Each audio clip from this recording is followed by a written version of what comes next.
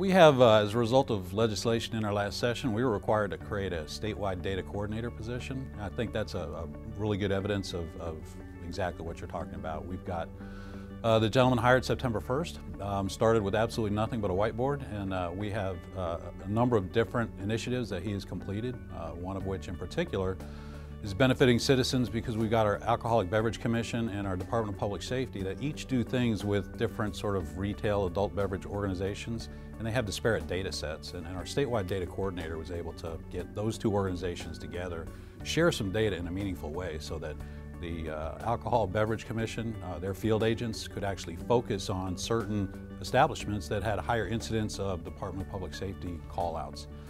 Thinking that if somebody has that type of an operation, they're more inclined to have ABC sort of violations. And uh, so it really helps them focus in on, you know, leverage their resources really efficiently. Um, and it's a great example of how previously without a, a position like a statewide data coordinator, very difficult to, to really get disparate data sets together and sort of push forward that initiative of, hey, I've got this valuable data set, you've got that valuable data set. If we can put it together, the synergies are far greater from an efficiency perspective. So I'm really pleased with, with that legislation and the fact that uh, we've been able to staff up that position and start to make those kind of benefits for, for citizens and, and generate government efficiencies. We have um, part of our consolidated data center program has a requirement for our vendors in that program to, uh, which is a completely managed program.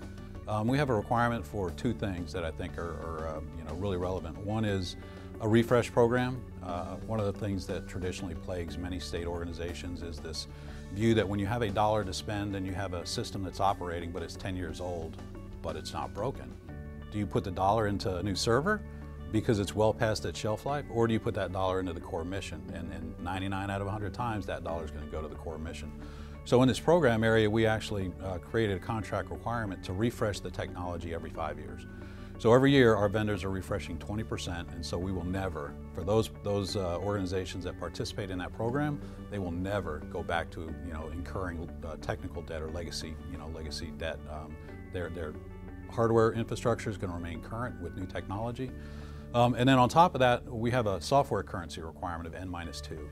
And so again, that does the same thing. It accomplishes ensuring that the, the organizations that are in that program cannot go to a legacy state with their applications. That of course generates a, a bunch of cyber risk and, and other areas of concern, uh, as well as uh, you know not enabling their mission. So really in that program, I think those two, two are, components are really key, uh, key parts of, of uh, you know, of that.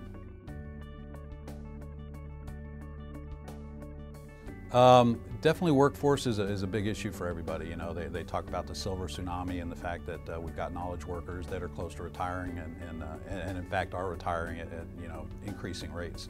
Um, and, and, juxtapose that with certain functional areas that are new but of high demand. So for example, cybersecurity professionals. Um, so we have two fronts from a talent acquisition process that we're fighting.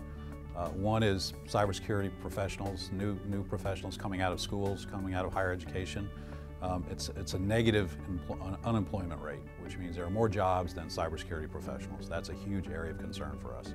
So we've got a cybersecurity position that's focused on trying to work with um, K through 12 and higher education to actually build curriculums to actually produce uh, a higher uh, volume of trained cybersecurity professionals. We do things like the Patriot uh, program uh, at the federal level, national level, where uh, they seek out kids in, in uh, middle school and high school and they do cyber, uh, com cyber competition uh, exercises. And then they go through state competitions and regional competitions and work up to a federal competition. Locally, we're doing the same thing within Texas. So we're really trying hard to, to promote, um, take a long-term view on, on addressing the problem um, and, and, work with people through the educational process to try and produce more of the type of skills that we're going to need in the future to ensure that you know, from a cyber perspective, you know, we've got, uh, we've got adequate capabilities uh, and then uh, staff and, and awareness um, in producing not just, you know, digital natives, but cyberly secured, prepared digital natives. Um, and, and, I think the other thing is the, the aging workforce. So the, the fact that we lose knowledge workers, um, you know, due to retirement things is a challenge. And so we are working a variety of different things on that front to make working in the public sector more attractive to recent uh, college graduates. Um, things like moving to a more open office environment, um, trying to, to, focus on collaboration, building a collaboration room, um, trying to encourage uh, uh, you know, telework, for example, and trying to adopt some of the things that private sector has shown are very, very progressive and very you know, effective uh, at making the workplace a vibrant workplace and of interest to a younger workforce. Um, and so when we lose a knowledge worker and somebody to retirement, um, it's a challenge coupled with trying to make the, the employee culture more attractive. We're also looking at um, a strategy of bringing in uh, not uh, similarly qualified people. If you lose a 30-year-old knowledge worker, there's a bunch of intuitive knowledge that that person has in that one head, a lot of value that they can bring to bear in their office environment.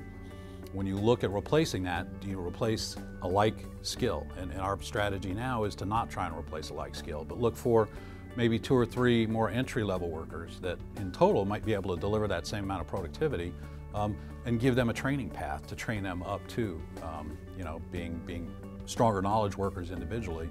Um, but we think that long-term strategy will help us sort of defeat that, that retirement tsunami. Um, but then also, again, make the, the employee culture one that's more vibrant and more interesting to uh, entry-level workers.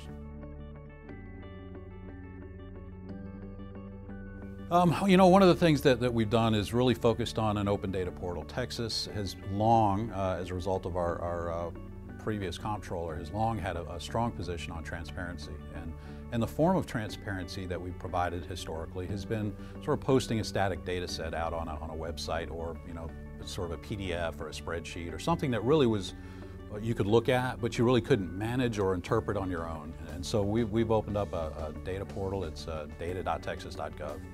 And we've worked with a number of agencies to actually post data sets out there, one of which uh, is our, our Capital Metro, for example. Locally, we have local uh, organizations, that's with the City of Austin, and they participate as well. So they actually put bus movement data into this open data portal, and they're refreshing it about every 30 seconds. So it's a very active, very dynamic solution. Um, and, and so it's, it's there for all citizens to go at. We've got Parks and Wildlife data out there. We've got you know, our own DIR's cooperative contracts data out there.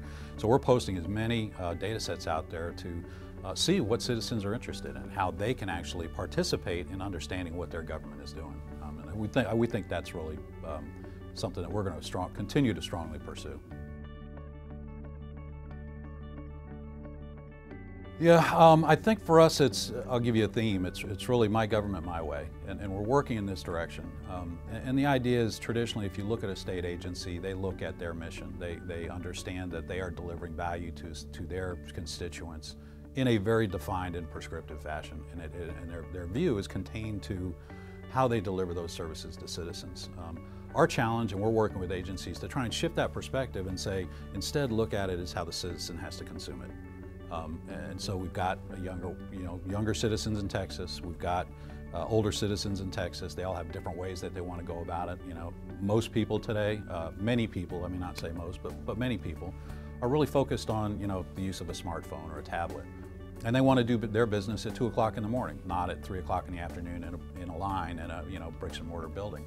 So um, we're, we're really trying to work hard through a combination of our open data portal uh, and our statewide data coordinator to get our agencies to pull their data sets together, come up with single versions of truth, not have duplicate data, um, and, and, come up with an easy way to, to, portalize the delivery of services to citizens. So um, a citizen can log in to the extent that they choose to, define their portal, and then not have to know that, well, if they're, if they're you know, retired and, and uh, a school a retired school teacher and you know receiving some you know, Medicaid benefits or food benefits or they have a, a, boat trailer, a car, and a fishing license, you know, in, in that circumstance they have to know that they have to work with 10 or 12 agencies and they have to know which agency delivers which of those services.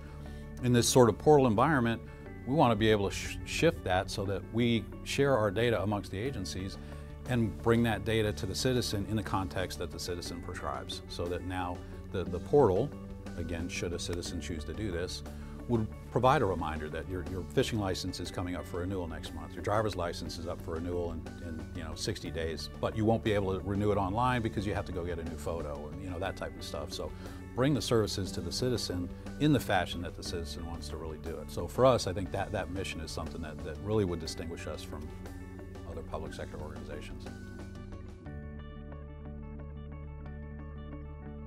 Uh, well, let, us say that not since taking the, the role, but since I, I started working with DIR and in the public sector, um, I never envisioned that, uh, that I would be a public servant or, work in you know public administration. Um, you know, I, but I've found that since I've been uh, been with the agency and, and you know in this capacity um, for about the last eight years, I have found that that I actually um, look forward to coming to work.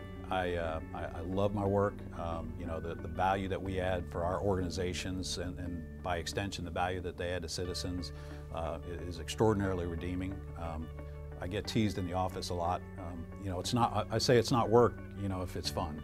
Uh, and I get teased in the office. We have a sort of banner cry, thank God it's Monday, you know. Um, so we all look forward to going to work. And uh, so I, have never quite had that same fully redeeming experience in the private sector. Um, so it's, it's extremely rewarding, uh, and the opportunity to, to serve the citizens of Texas is, uh, is you know, an inspiring one, and I'm grateful to, to have the opportunity to do that.